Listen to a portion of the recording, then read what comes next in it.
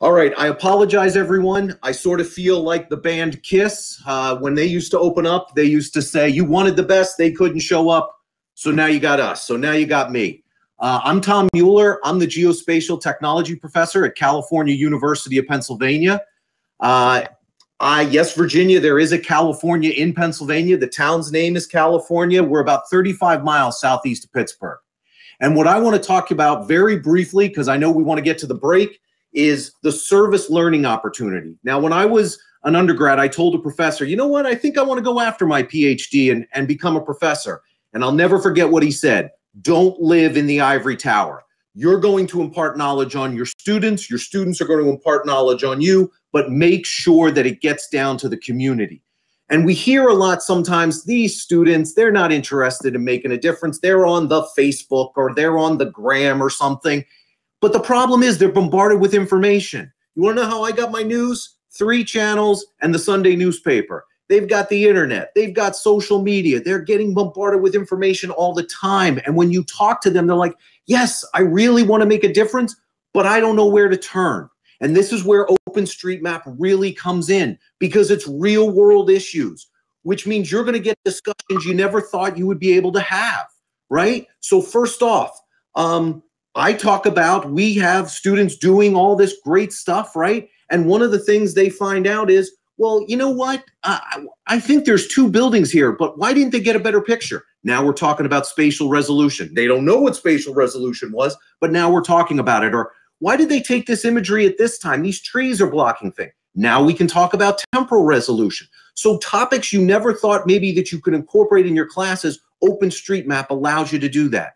What I try and do, we do have a youth mappers program at CalU, but I try and include what I call class mapathons in every class because you can bring the local and the global together.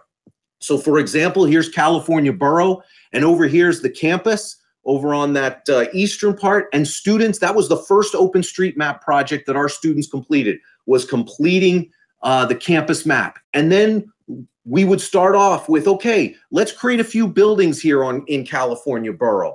And all of a sudden, students were like, hey, wait a minute, there, where's the police department? Where's this? And they started to really get the knowledge of the borough they're living in.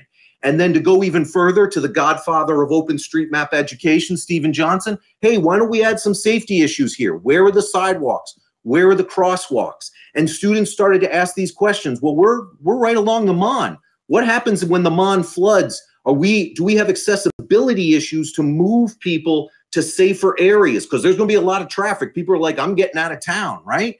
So they started to ask those questions about the local and they started to build these buildings. And in fact, one particular student wants to take this information from OpenStreetMap to the California borough in the fall and discuss how that integration can happen with students and having OpenStreetMap help, help the borough.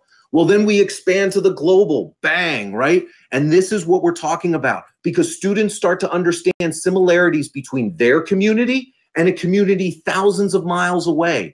And they start to build this type of, of empathy, maybe, if that's how you want to talk about it. And what's also great is with Youth Mappers, we've collaborated with West Virginia University. I'm going to give a shout out to Bill. Bill, let's do something in Appalachia with Frostburg State and Cal U right? But here in Humanitarian OpenStreetMap, try to include it.